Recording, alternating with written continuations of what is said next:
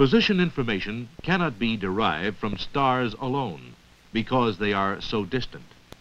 But the positions and orbital motions of the Earth and Moon are well known, and their instantaneous positions as seen against the background stars can be used to derive spacecraft position in relation to these bodies with the required accuracy.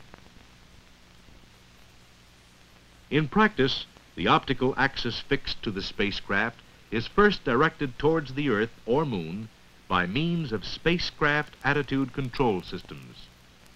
Through the 60-degree field of view scanning telescope, a suitable landmark on the Earth or Moon is acquired. The scanning telescope is then used to acquire the desired star image. Slaved so it moves in tandem with the telescope optical system, the sextant field of view now includes both the images of the star and landmark within each of the fields associated with its two lines of sight.